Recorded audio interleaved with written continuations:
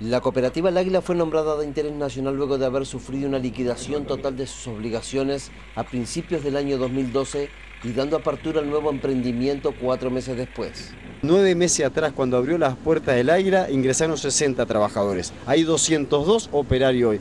Es una satisfacción y yo creo que la sociedad, nuestro pueblo, todo debería alegrarse y comprometerse más con estos proyectos. Se destacó que cerca del 95% de los trabajadores cooperativistas se encuentran trabajando y las expectativas de la fábrica para los próximos meses es de un crecimiento permanente.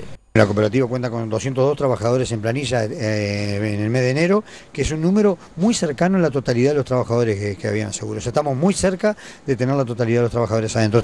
Los trabajadores presentaron algunas dificultades con la autonomía económica que pretenden lograr, teniendo como antecedente que es la única cooperativa que funciona con capitales netamente nacionales y con el apoyo del Fondes. Cerca del 95% de los cooperativistas se encuentran trabajando y las expectativas de la planta para los próximos meses es de un crecimiento permanente.